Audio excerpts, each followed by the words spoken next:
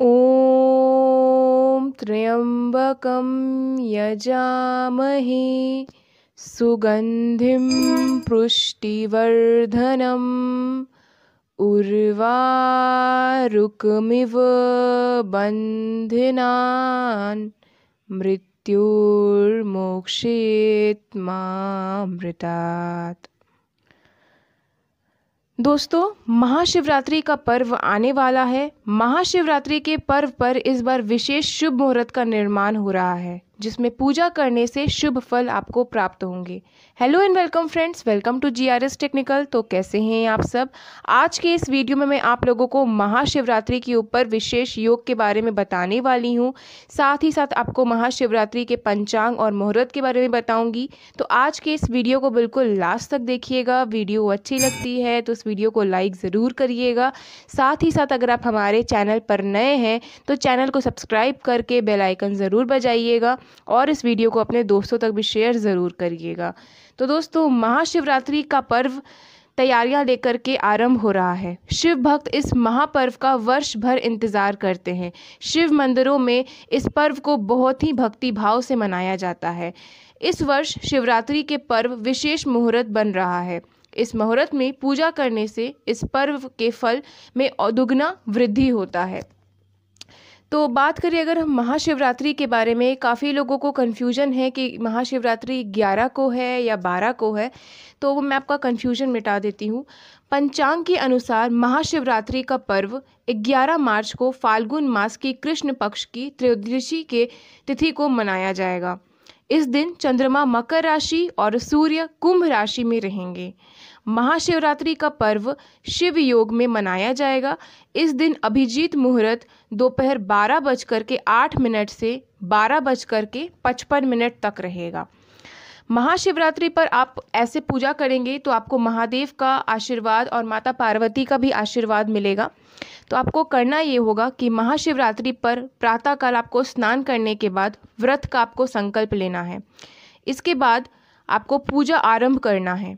शिवरात्रि के व्रत में नियमों की कठोरता से पालन करना चाहिए, तभी इसका पूर्ण फल मिलता है। इसके साथ ही महाशिवरात्रि के व्रत का पारण भी विधि पूर्वक ही करना चाहिए। सूर्योदय और चतुर्दशी तिथि के अस्त होने के मध्य समय में ही व्रत पारण करना चाहिए।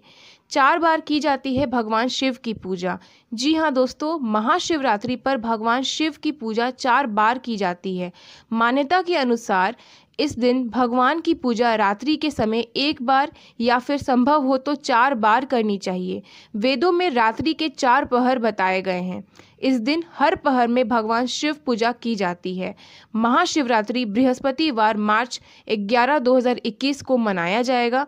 निशिता काल पूजा का समय है रहेगा। 11 मार्च को प्रातः बारह बजकर के छः मिनट से प्रातः बारह बजकर के पचपन मिनट तक निशिता काल के अवधि पैंतालीस मिनट से अड़तालीस मिनट तक रखा है और व्रत का पारण मुहूर्त है बारह बज कर के छः मिनट पर और चौंतीस मिनट से दोपहर तीन बज कर के दो मिनट तक। तो ये था आज का वीडियो।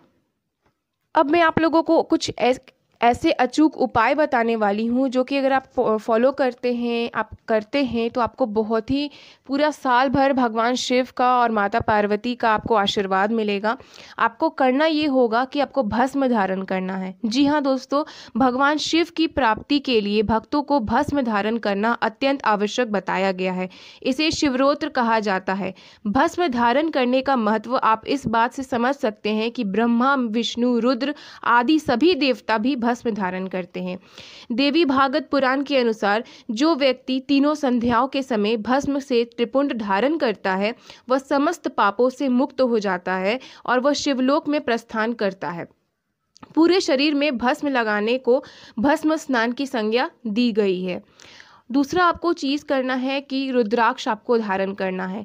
रुद्राक्ष धारण करने के लिए व्यक्ति के सभी पाप कर्म मिट जाते हैं और वह शिव साजुज की प्राप्ति करता है। इसके महत्व के बारे में एक कथा है। विंध्य पर्वत पर एक गंधर्व रुद्राक्ष ढोया रहा करता था। एक दिन रुद्राक्ष धोते समय गिरने से उसकी मौत हो गई। रुद्राक्ष के स्पर्श प्रभाव से वह गंधर्व शिव रूप धारण करके शिवलोक चला गया। कहा गया है कि जो व्यक्ति रुद्राक्ष धारण करता है तो स्वयं शिव स्वरूप हो जाता है। रुद्राक्ष को श्रद्धापूर्वक पवित्रता के साथ धारण करना चाहिए। शिव मंत्रों की सिद्धि के लिए रुद्राक्ष की माला का जप करना चाहिए। रुद्राक्ष की उत्पत्ति कहाँ से हुई है? तो उसके लिए भी एक मान्यता है। तो दोस्तों, आज के इस वीडियो में इतना ही। आशा करते हैं कि वीडियो आपके लिए हेल्पफुल रहा होगा। हर हर महादेव, शुभ शिवरात्रि। तो अगर आपको आज का ये वीडियो अगर हमारा पसंद आया है तो इस वीडियो को लाइक ज़रूर करिएगा। साथ ही साथ हमारे चैनल को भी सब्सक्राइब करके बेलाइकन ज़रूर बजाइएगा। Thanks for watching this video जय हिंद, वंदे मातरम। हर हर महादेव।